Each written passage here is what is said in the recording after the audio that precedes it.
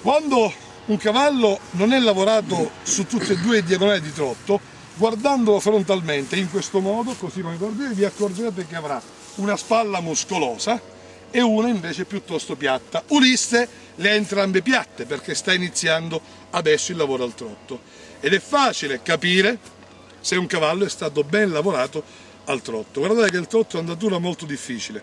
Io considero che la più difficile in assoluto è il passo, ma il trotto è altrettanto difficile, fatto bene. Lo scambio, stando per un tempo e mezzo seduti, quando noi cambiamo mano, è indispensabile per cambiare diagonale di trotto. Adesso con Francesco al trotto vedrete che lui si siede quando il cavallo sarà sul diagonale cosiddetto esterno in base alla mano che Francesco prenderà. Altra cosa importante, mentre Ulisse del Castellaccio e Ciccio lavorano, vi accorgerete dalle immagini che Francesco monta eh, gli speroni. Vi chiederete perché. E questo può causare delle reazioni al cavallo, perché si monta con gli speroni, subito. Dopo che si è salita la prima o la seconda volta, lo sperone è un aiuto indispensabile, ma bisogna saperlo utilizzare e serve proprio per dare quell'impulso in avanti al cavallo. Quindi non vi meravigliate, non è un'azione pesante, cattiva, coercitiva, è uno degli aiuti di cui un cavaliere serio dispone. Guardate il piede calzato di Ulisse, quello con la balzana bianca. Quando Francesco è seduto, il cavallo poggia proprio quello anteriore. Francesco è a mano sinistra, quindi sta trottando sul diagonale esterno e ovviamente poggia quando Francesco si siede l'anteriore esterno e il posteriore interno. Adesso cambiamo mano. Ed ecco che a mano opposta Francesco trotta sul diagonale esterno, questa volta sinistro, prende il nome dall'anteriore. Vede come il cavallo ogni tanto è riottoso? Questo è proprio la, la, la bellezza di questi filmati, sono tutti autentici.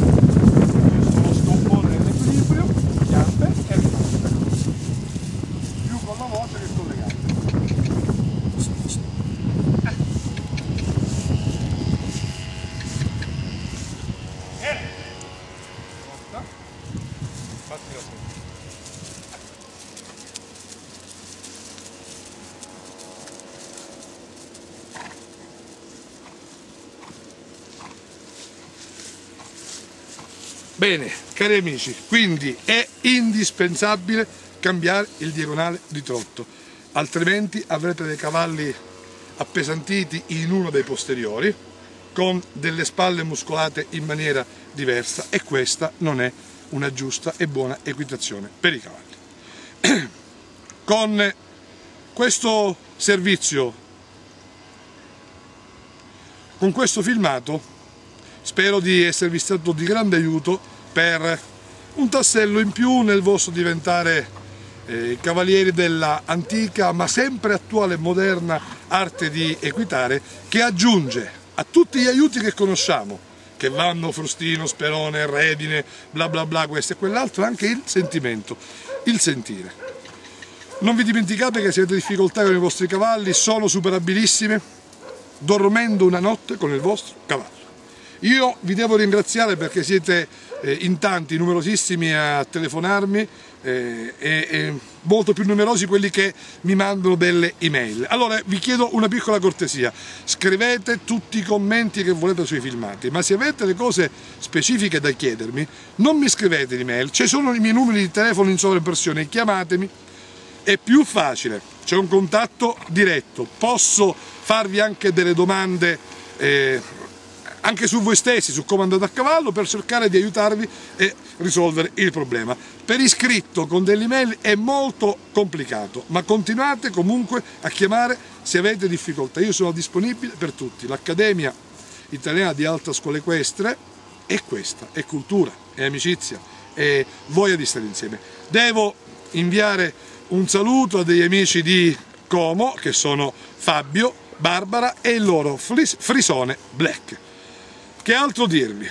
Grazie sempre per la vostra attenzione e per i commenti gentili che lasciate. Un saluto da parte di Francesco Mistretta e di Ulisse che tra un po' giungono, eccoli lì alle mie spalle, stanno trottando benissimo, è il primo giorno che trottano insieme, grazie e alla prossima puntata, ciao! Via.